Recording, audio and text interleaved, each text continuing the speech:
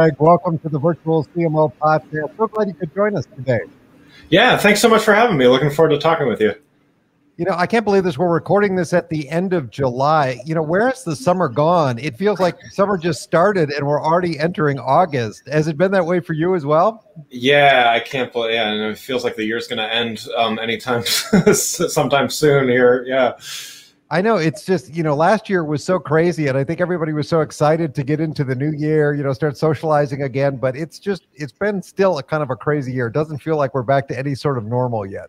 Yeah, agreed, agreed. well, you know what's going to be interesting today is we're going to get a chance to dive into a little bit of the subject of uh, agile, agile marketing, digital marketing, branding, all these good topics that we love to talk about on this show. I'm wondering, just as a way of kicking things off, if you could just give the audience a little bit of a background in terms of uh, what you do and uh, and how you got to where you are today with the agile world. Yeah, absolutely. So, um, just brief background. I um, started in as a in the creative field. I, I and then I, I um, early in my career, I started a digital marketing agency back in the early 2000s. I ran that for about 14 years and sold it about four years ago. And so uh, I'm sure we'll talk about this in a bit. Saw a lot of things change in from between 2003 and 2017. Um, I stayed with the company that that acquired the agency for a little while, and then um, ever since then, I've been working as a consultant to a lot of different kinds of companies, doing everything from some marketing and, and digital strategy, but also including customer experience, employee experience, digital transformation. So a lot of big organizational change type projects, and but always I think always relying on on my marketing roots, um, so to speak. To um, I, I, it comes in handy um, no matter what you're doing. so absolutely. Uh, so yeah. Well, I'm curious. I mean, that is a good place to start. Um, you've been at this for a while. 14 years ago, you started this agency. You said, what was digital marketing like back then? I'm sure there was a lot more simplicity to it than what we've got today. Yeah. So uh, yeah. So we started in late 2003. So you know, going back to that time, um, Facebook, MySpace, um, YouTube, like all of these things were very new. Th- I mean, MySpace was like the big, you know, the big social media platform back in the day, taking over from like Friendster. I think was still even around. So you know, yeah. this idea of social media marketing was a brand new thing. And, and I wouldn't even say that social media marketing really came into being um, for a few years. We were kind of dabbling around in that and playing around with it.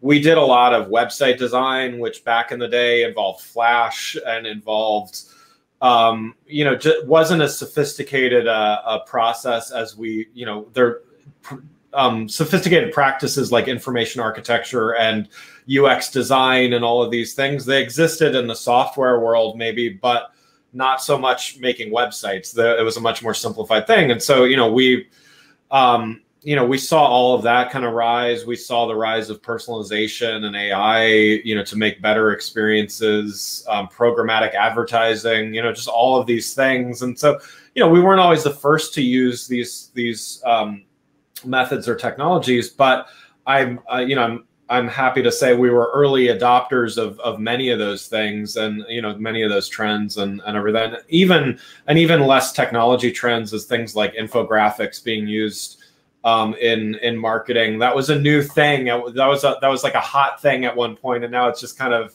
you yes. kind of take it for granted. So um, yeah I got to see a lot of things but it, it taught me um, to think in this this more agile mindset of you know we're never going to only be able to do one thing and do it forever and be able to make money doing that forever. I mean, social media marketing is a great example of that. Of we did very well for you know between probably 2008 and 2011 or so. We did really really well doing a lot of social media marketing. By the time 2011 2012 rolled around everybody everybody was bringing those in, uh, resources in house, um, and a social media marketing retainer looked a lot different for an agency, for instance. So you know that's just one example, but I've seen this time and time again of like a trend rises and then you know clients will bring it in house and then we have to find something new to bring and they bring it in house and and you know just kind of continues to repeat like that. I hear from a lot of clients uh, similar stories along the lines of, you know, we started using uh, Google AdWords years ago. We could get some fairly predictable results out of it, and it's just gotten harder and harder. But it's just a tough channel to ignore because it's so prevalent out there. Have you seen the same? Yeah, I mean, I think the one one phenomenon is the commoditization of the consulting aspect of it or the strategy part. So yeah, Google AdWords. I mean, it's not going anywhere. It's, it'll it'll go somewhere when Google does, and and that's a, at least a few years off.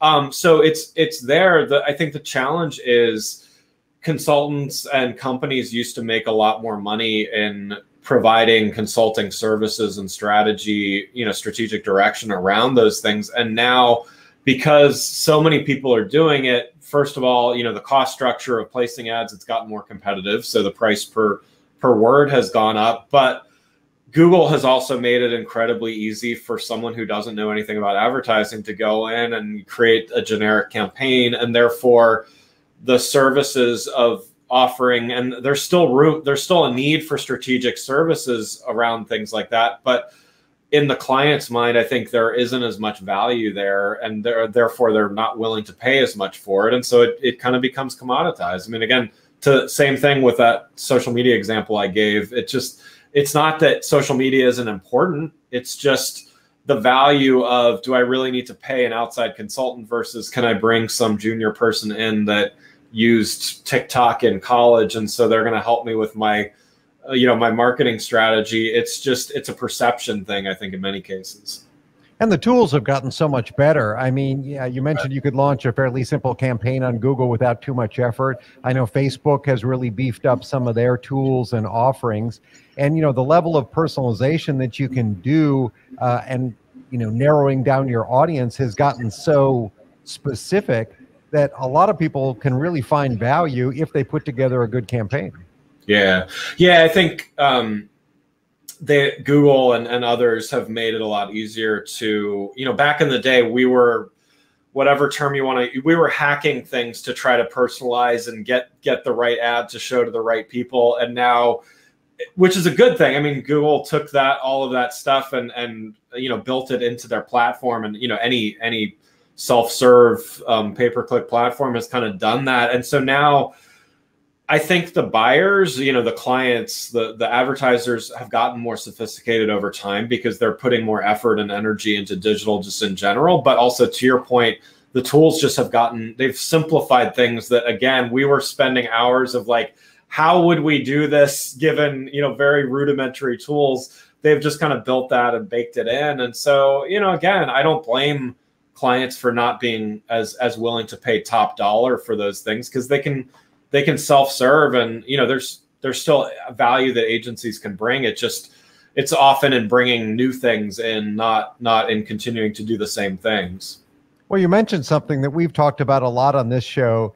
It's that there are a lot of people obviously especially younger people who are very familiar with the social media platforms. They're users of snapchat and tiktok and and facebook and instagram and all that just because you're familiar with the platform doesn't mean you understand strategically how to use it to attract new customers to drive lead flow. And this is what i see over and over again is that people have the capability of doing something but they don't necessarily have the strategy behind it. And i think with more and more digital channels coming on board there's so many places where you can spend your money and therefore you can spend money very quickly if you don't really have a good strategy in place yeah, agreed. And I think this is where, just at the end of the day, um, you can be on a million different social media platforms. You can be on a million different marketing and advertising platforms, but you've got to define what are the metrics of success. Because to your point, if the metric of success is being on Snapchat, then yes, you should just get an intern and have let them help you be on Snapchat. If that like if the bar is really that low, then sure, like you don't have to spend that much to get there. But if the real goal is to make more sales and drive it, you know, drive awareness through social media and track that and track attribution, it's not always an easy thing to do that. But if you're really trying to drive towards real business goals, then yeah, you can't just pluck somebody out of college and hope that they're going to understand the strat. They may be very sophisticated in their usage of the features of a platform, Um, and I think to a fault, a lot of a lot of colleges and universities are getting a little too platform specific and not mm. strategic enough. That's a, probably a topic of a whole other podcast, but um, but they're you know what really still matters. strategy always matters. Um, it's just when companies choose not to focus on the end results, then again bare minimum of we're there and and the, we use the right colors in the logo i you know I, I guess that's success but long term they're going to look back and say wow we spent all this money on this stuff and it um, you know gave us no return well of course it didn't because you didn't set the goals in the first place yeah, and I certainly don't want to throw anybody under the bus. I think some of the creativity that's out there right now is phenomenal. Uh, what some people have done with their channels and the unique content that they create.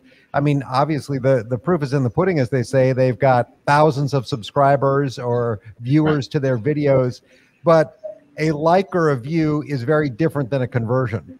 A conversion is sort of a multi step process, right? A like or a view is a, is a one click and I think that's where things get broken a little bit is that when businesses are trying to get conversions, they're trying to build that lead flow. That's that's much harder than just getting a like. Yeah, I absolutely agree with you there. And I think that's where again, I, I have no doubt that any any great brand or company big or small can put time and effort into something and do it really well and to your point get get likes and get followers and, and all those kinds of things but I mean, I often say that like just because you can doesn't mean you should, right? So is being on that platform the absolute best way to drive business? At the end of the day, if it's not driving business, it just it doesn't make long-term sense. It's I mean, it, otherwise it's a badge of honor and I, I'm too pragmatic a person to to believe that just having a lot of followers on a platform really really matters. It used to be a gauge by which I my own agency was judged and it was super difficult to you know attribution models and everything like that it's still not simple but yep. it's gotten a lot easier but yeah i just think again you can focus all the time and energy you want but i mean focus on the things that are actually moving the needle and then if you really have time and budget left over cool good for you i guess but um, i'd rather be moving the needle and, and focusing where it's you know where it's going to really drive some some activity yeah, and to drive that activity, you know, we're talking about sort of the history of the last uh, 10, 15 years. I mean, you look at a Martech chart today, and the um, number of tools is just unbelievable, which is great as a marketer. We've got all of these choices, but it's also overwhelming. And then you look at the channels. It used to be that you know you needed a, a, a web presence, you needed a digital home on the internet, and maybe you did some social media or some PPC campaigns or something but now there are so many different digital channels that you have to, or you could be part of. You've hmm. got automation technologies. You've still got events and other activities. Marketing is becoming increasingly complicated. And that sort of leads me to this discussion of agile because agile is not a term that originated really in marketing, but it's hmm. something that has come up over the last couple of years. And I'm hoping that you can tell the audience a little bit about what you mean by agile and how you think it really applies to marketing and digital transformation. Yeah, absolutely. And so, you know, I've written a few books, and my my podcast is called The Agile World. And so, um, you could you could call me biased a, a bit, but I guess just the, the the briefest way I can talk about it is, you know, there's what I call like big A Agile and, and small A Agile. And so, you know, big A Agile, there's a methodology and it started in manufacturing and software development. And you know it's it's really about creating processes that are repeatable that um, continual optimization and, and things like that. And um, so you know starting in those worlds people in software development it it happens that you don't use it sometimes but most most software teams and are, are using some kind of agile agile approach. And um, i think where it where it makes a lot of sense for marketers. I think a lot of marketers have become agile and they were they were thinking in a more agile way long before even this this term of agile marketing really started being used and you know it's been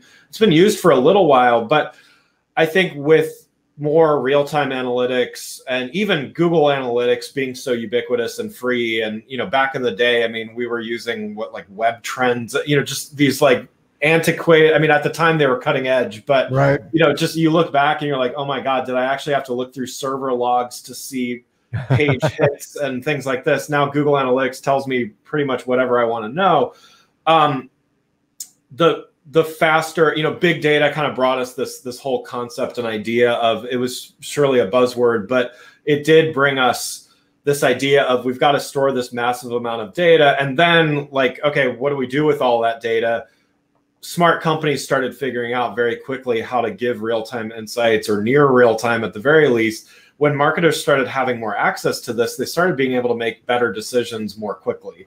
And so you stopped saying okay our marketing plan for the year you know 2015 is going to be this and in december you know it's january in december we'll take a look at all the numbers and get back to you on what we want to do differently for 2016 it, the world doesn't work that way anymore and it doesn't yeah. need to work that way anymore i mean we still there's still I mean, we're going to sell x amount of widgets this year and you know there's still organizational objectives but the way marketing is run doesn't need to be beholden to some big long you know at least 9 to 11 month exercise of like kind of tracing back the numbers it's like okay how did the campaign do yesterday I can see that in almost real time, if not real time. So um, to me, the the you know the big A agile is like you get certified as a Scrum Master and and all that good stuff, and and that's that's still mostly in the software and yeah. and and some other realms like that. What I refer to as small A agile is um, thinking scientifically and methodically about change and iteration over time, and so the the the caveat there is just because we can see near real time data doesn't mean we should say oh my god we launched this campaign yesterday and it's not doing everything i wanted it to do. Let's scrap everything and start over. Instead it's we're going to take this we're going to run this for x amount of time. It's not going to be 12 months but it's also not going to be 12 hours. We're going to take this and run it for a certain amount of time. Then we are going to scientifically look back see what worked analyze it and then adjust. And we can do that in you know one or two week sprints um, as opposed to you know one or two quarter sprints which by the time you know three to six months pass your competitors might be way ahead of you. I mean the world moves way too fast these days. So that's that's what i think about as as agile marketing is just thinking again not changing like willy-nilly like all of a sudden not being reactive but being scientific but doing it quickly and being having the data to be able to back you up in your decisions What's so interesting there is I think we all, from our own personal experiences, can see kind of who's being agile and who isn't. You know, there are some uh, companies that you may interact with that they have probably sent you a form of the same email for years, right? You right. know, they haven't changed the headline, they haven't changed the content. Uh, it's just the same thing over and over. Maybe you get it in your post office uh, box or, or whatnot. It's just the same thing over and over. And then you see companies who are always trying something different. They're uh, they're they're playing with headlines, they're playing with copy, they're playing with offers and promotions. And if this one doesn't work, then they're going to try something else. They may ultimately result in the same thing, right? Whether you know you you buy two and get one free or one fifty percent off or something, right? You know, it's right. uh it, it, it it's all just trying different things, and that sounds like agile to me. Yeah, yeah, it does. I mean, a, an example I often use is um, in the in the web design space, at least, is Amazon. So, you know, when's the last time Amazon redesigned their homepage? You know, so one way of answering that is I think it was like 2011 or you know some at least at least eight to ten years ago was the last like big major redesign that they did. All of a sudden, overnight, it changes or whatever that's one way of looking at that. The other way of looking at that is that they're constantly redesigning every page on their site every minute of every day. They're running, you know, thousands of concurrent experiments all the time. So, you know, to to your point, they're always it may it may change and then change back to the thing that they used to have, but they have the data to be able to say, you know what, saying buy now instead of purchase now makes more sales. And we tested that. We tested that in 30 different countries around the world, we know that that works. And so it's that way of thinking and, you know, just continual testing and continu- continually being open to change. And I think, you know, that's the other part of this, probably the subject of a whole other podcast as well, is the culture change that's required to really continually adapt, um, you know, from the inside. Because I mean, we I, in the in the marketing and creative world, it's like you know we we grew up kind of from the the Mad Men days of like this big creative reveal of wow we spent all this time on this great marketing campaign and it's gonna you know it's gonna turn heads or whatever. And that totally worked you know back in the day. Doesn't work anymore. There's too much variation. There's too many there's too many options and there's too many ways to collect data. So we can't have egos about this stuff anymore. It's like we've got to let the data kind of, you know, help us make better decisions. So it sounds like, you know, the way you describe little a agile is one of the key aspects of it is you need data. You need to be able to track things and be able to report on things. And there's so much great marketing technology to help you do that, but it's very hard to make good decisions without having some data to back it up. Yeah, absolutely. I think, you know, it's for, first, it's, you know, what are the goals that we want to achieve? Second is exactly what you're saying is like, how do we measure that? And, you know, I, in addition to the agile stuff, I got my lean Six Sigma. That's a whole, you know, that that's very much based on error correction and everything like that. But when you look at the, you're basically creating statistical analysis for solving problems and not just saying, again, we want to sell more widgets, but there is a, there is a problem here at this stage in the buying process, for instance, if we're talking about marketing, what are we going to do to fix it and how will we know when it when it's achieved? And I think that's that's really not everybody has to be a mathematician. I certainly am not, but um, you have to think methodically and and analytically about this stuff because it's it's simply just not enough to have good creative or just a good idea. It's got to you've got to have the data to back it up, and you've got to know what you want the data to to be able to show you. I think one of the things that I find with a lot of marketing is it can be very kind of rinse and repeat, right? It can be very cyclical. Uh, you know, if you're a B2C brand, there are holidays, so you tend to do certain promotions and whatnot around the holidays. If you're B2B, maybe there are certain trade events or things that are happening or quarterly um, uh, results that you have to work around. But that can lead to a lot of sameness, right? It's yeah. you look at the calendar and you say, okay, now we've got to do this. We've got a quarterly newsletter. It's got to go out. Um, and what happens is is people stop focusing on is this even worthwhile? Is it successful, or yeah. do we have something that has an audience, but we're not really taking advantage of it? Yeah, it's interesting. So. Um, there's and this is where it can almost be a trap when you're thinking in this in this iterative approach is you start thinking about yeah what's our what's our holiday promotion going to be this year? And is it going to be better than last year? What you're talking about is who's actually a, like evaluating should we even have a holiday promotion in the first place you know does, right. does that even make sense? And i think i i mean trust me like i it's the meta strategy. I mean i call that that kind of thing strategy ops. It's like it's it's who's measuring that the strategy was even right to begin with and yes. I don't, I mean, to your point, I don't think enough people are looking at that. Um, I do think, um, and again, this is this can be a trap in the in the agile approach. Is like you have to. It's very important to iterate, and and if you the holiday campaign makes tons of sense, by all means, iterate and improve it. You don't have to, you know, start from scratch every year. That's it's nice to have a baseline to move from, but you do need to take a step back sometimes and say, are we even doing the right thing? Are we allocating the right resources to the right thing? So I yeah, it's it's a, it's a tough one. And you know, ideally, you know, a CMO is looking at that at that kind of thing, but I, I, I don't think enough are. I've seen this recently. You know, we're still on the back end of COVID. There are still some supply chain problems. Not everything is functioning as it should. And there are certain segments where there are just real shortages still. Uh, this summer, they've had real problems with things like patio furniture. It's very hard to find, it's out of stock. But then I've seen on certain websites that they're running a sale on patio furniture. Well, it seems to me it's kind of dumb to run a sale on something that you don't have in stock. right because but i think it falls into that cyclical nature it's summer so we run a sale on patio furniture even though we don't have any to sell you and that's where I think people get caught up in these cycles without even really fully thinking them through. Yeah, I agree. And I think, you know, that that might also speak to a disconnect between just groups within an organization. And I think, you know, that that can also go into, you know, where is the data being, you know, being consumed as well as pulled from. So in other words, if if marketing is really just looking at marketing numbers and okay, let's get more sales, but they're not talking to you know to, to your point to the suppliers and saying, well, we have we either have too ma- too much patio furniture or not enough.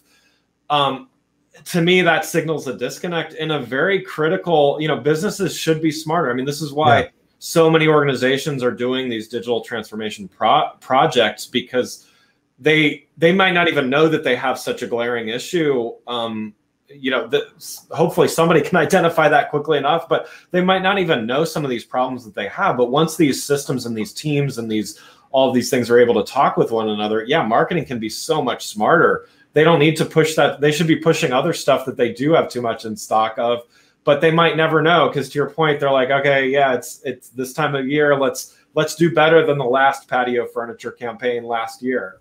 Right, right. Yeah, they just fall into that trap. And so, uh, with your podcast, you talk about a lot of these topics with your guests, right?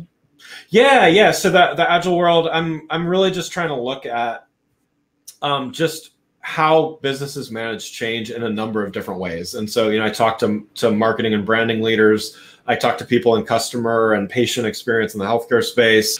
Um, and employee experience as well. And um, quite often, what ends up being talked about is is what I was just referring to is the, the digital transformation piece of if only I could talk more easily to this other part of the org and understand it a little better, then you know, employee and customer experience are so closely related. I believe customer experience and marketing are so closely related. I think sometimes um, organizations make them too closely related to a, you yeah. know to, to the detriment of both. But um, they are still very closely tied to one another. But you know what? If if the data is not talking and the people aren't talking and everyone isn't aligned around the customer, then it becomes really challenging. And so, yeah, I I, I talk with with people about those kinds of topics and written a few books um, on similar topics as well. Yeah, that's really interesting. And, you know, as we kind of bring our podcast interview to a close here today, I'd love it if you could just share with people where they could find not only the podcast, but uh, more information about what you're doing in, uh, in your consulting business and the books. Yeah, absolutely. So uh, my podcast is available on uh, the major channels Apple, Spotify, Google, um, Amazon. Uh, just look for the Agile World with Greg Kihlstrom. And you can find my website where I do consulting work and um, have a blog and, and some other things as well at the agile.world. I would love to um, would love to connect with people. I also um, I'm on LinkedIn and very active, so just search for Greg Kihlstrom on, on LinkedIn. Hey, that's great. And I'll make sure that we have all of that linked up in the show notes so that people can easily find you. This is really a fascinating discussion to me. I love this conversation because I think it's really next level marketing kinds of things. But, you know, given that we tend to focus on small and mid sized businesses on this show, I think it's something that people should really consider because being agile, just as the name implies, allows you to more quickly make changes and optimize what you're doing from a marketing perspective. So I hope people will check out your show as well. Oh, thanks so much. And, and thanks so much for having me. It's been great having you on the show today. Take care. Thanks.